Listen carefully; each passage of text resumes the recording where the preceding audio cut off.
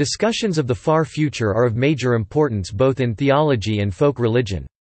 Many Christian authors have welcomed the scientific theory of the heat death of the universe as the ultimate fate of the universe as it was first proposed, while atheists and materialists back then commonly opposed the theory in favor of the idea that the universe and life in it would exist eternally.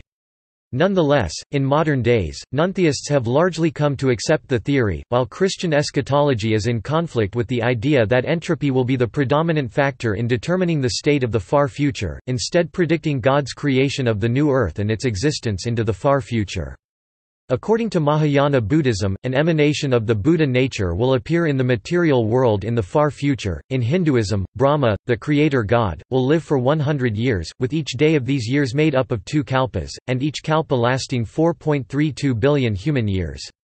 The lifetime of Brahma, and thus the universe, is therefore predicted to last 315.36 trillion years. Mayan religion often cites incredibly long time periods.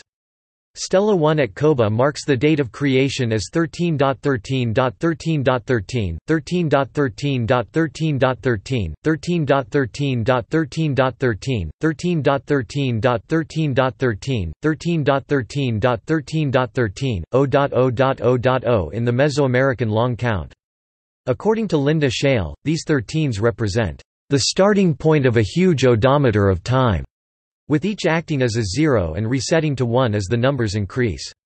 Thus this inscription anticipates the current universe lasting at least 2021 times 13 times 360 days, or roughly 2.687 times 1028 years, a time span equal to 2 quintillion times the age of the universe as determined by cosmologists. Others have suggested, however, that this date marks creation as having occurred after that time span.